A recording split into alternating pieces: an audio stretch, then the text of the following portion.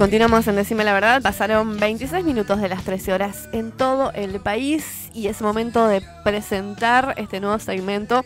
Marcelo, ¿nos vamos a, vamos a contar un poquito de qué se trata? En trance. Antes de saludarla. Se llama, sí, así es. El segmento se llama En trance y va a ser un espacio como para repensarnos. La voz va a ser de ella, Oriana Favaro, estamos hablando. Una voz que no todos tenemos, ¿eh? No. Vamos a No es la saludarla. mía, no, no es la nuestra, no es la nuestra, eso está claro. Vamos a saludarla a Oriana Favaro, como decía Marcelo, ella es soprano, licenciada en Historia del Arte. ¿Cómo estás? Oriana, muy buenas tardes, ¿Cómo buenos están, días. chicos? Muy ¿Cómo bien, va? acá ya son, ya es la tarde, son las seis y media de la tarde, así que para mí es buenas tardes, pero buenos días para ustedes. Vamos a contar dó- dónde estás. Estoy en la ciudad de Metz, en Francia. En Francia. Bueno. Eh, nuevo, nuevo segmento aquí en Decime la Verdad, decía Marcelo. En trance, ¿nos querés contar vos un poquito de qué se trata? Bueno, mira, eh, esto básicamente son pequeñas lecturas que yo hago, que comencé a hacer hace un par de meses. A mí me gusta mucho leer y ante la lectura de ciertos extractos de algunos libros o poemas me han deslumbrado, que me llenaron de, de me, me- me maravillaron absolutamente o me emocionaron, ¿no? Me revolucionaron eh, espiritualmente mi alma, mis pensamientos.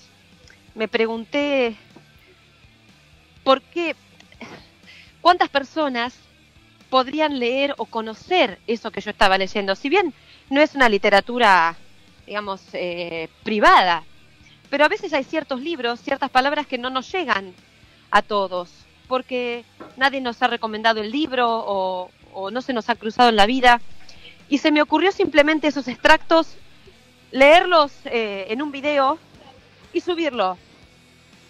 Y mm, eh, simplemente para compartirlo, ¿no? Como para abrir una perspectiva nueva. Eh, y bueno, ha- ha surgido después de la mano de Marcelo esta oportunidad de tener este espacio en Decime la Verdad, que para mí es...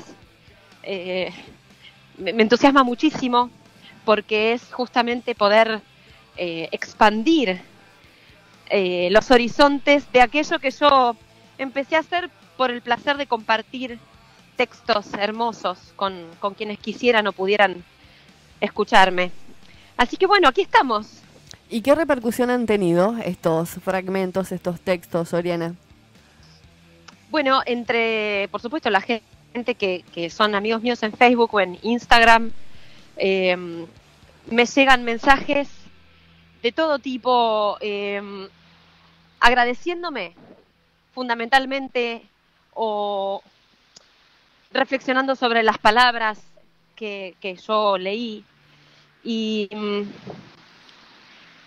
no sé cómo explicarte, a mí me llena de felicidad eh, que, que aquellas personas que escuchan estos videitos sientan que, que logre transmitirles lo que o algo de lo que yo sentí cuando los leí, ¿no? La emoción que me producen.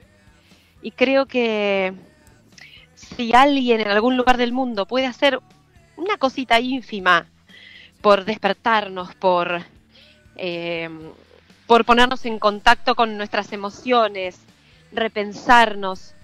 eh, eso puede ser a veces un antes y un después en la vida de alguien.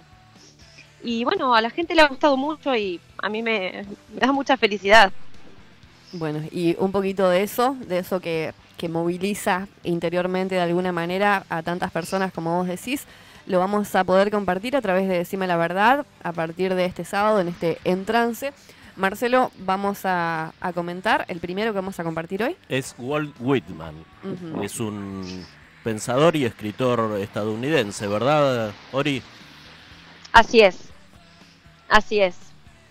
Un poeta, Un poeta. Bueno, Bueno. ¿lo compartimos? cómo no, un Bueno, gusto. dale. Te mandamos un saludo, Oriana. Y, hasta el bueno, próximo Gracias. sábado. próximo sábado. Muchísimas entonces. gracias. Así ¿sí? será. Les Dale, mando un abrazo muy grande. grande. Gracias por compartir. Otro para ustedes. No dejes que termine el día sin haber crecido un poco, sin haber sido feliz, sin haber aumentado tus sueños.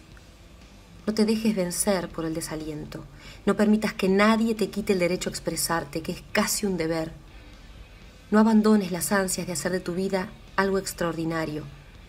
No dejes de creer que las palabras y las poesías sí pueden cambiar el mundo. Pase lo que pase, nuestra esencia está intacta. Somos seres llenos de pasión. La vida es desierto y oasis. Nos derriba, nos lastima, nos enseña, nos convierte en protagonistas de nuestra propia historia. Aunque el viento sople en contra, la poderosa obra continúa. Tú puedes aportar una estrofa. No dejes nunca de soñar, porque en sueños es libre el hombre.